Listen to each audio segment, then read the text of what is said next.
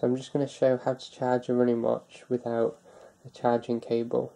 In this case I'm going to use the Fenix 3 HR running watch. Um, if you want to do, do this for a different brand or a different model of running watch, all you have to do is search the pinout for that specific brand or model. So what the pinout will show you is which one of these pins needs to be connected to the 5 volts and which one needs to be ground and then which ones are the the data pins.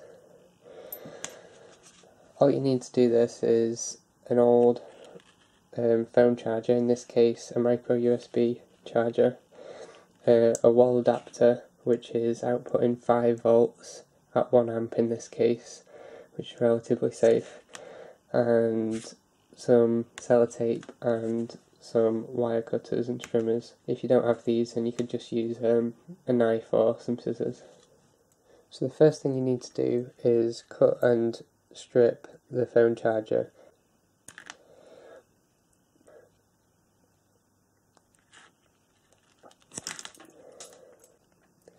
So we've got four wires here. Two of them wires will be the data wires. I assume it's this green one and the white one here. And then the leftover ones will be 5 volts, which is normally red, and ground.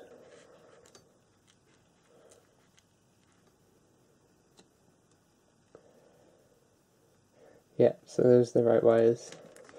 Another hint, if you've not got a, a voltmeter, is that the data wires are actually a lot thinner than the power wires. Now all that you have to do is connect the two wires to the correct charging pins on the back of the watch. The pinout online says that the top pin is 5 volts for the Fenix 3 and the bottom pin is ground you could just sellotape the, the wires on here like this if you're only planning on using it once. I'm going to try and make a, a bit of an improvised charging cradle for mine using some cardboard and some paper clips.